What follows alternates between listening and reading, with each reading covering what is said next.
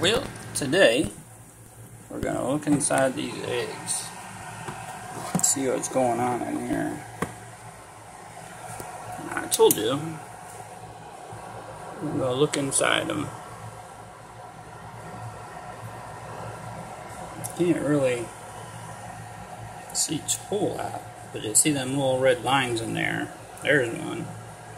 That's the beginning of eggs growing. Well, chicken's growing, the egg is already there. These are the ones that came out of my yard.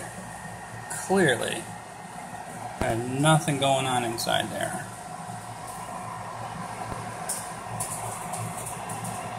This one, this one's doing really good.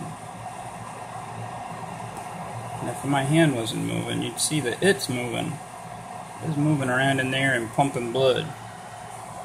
It's like a little heartbeat or something going on in there. This one, I think, is dead. That ring should not be there. This one, I'm pretty positive, is dead. That ring should not be there. Pretty positive that's going to come out. Because if you don't take them out, they'll start to draw bacteria because they're dying. And then they'll explode inside the incubator. And they'll spread bacteria to all the good ones and kill the rest of them. So even if it's not dead, which I'm pretty sure it is, I'm going to take it out anyway because I got others that are doing really good. Right now, as long as I don't kill it, I got one definite.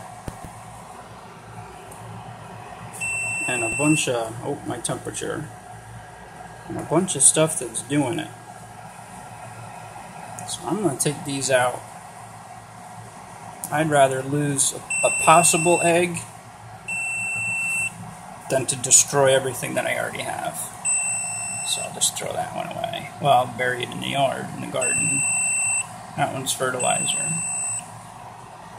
I'm to take this one, this one, and all of these definitely unfertilized eggs. They've done their job.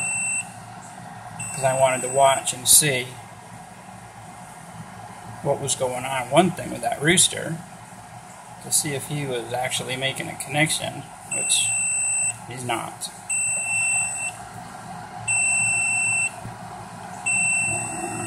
Uh, that one might, I might leave that one a couple more days.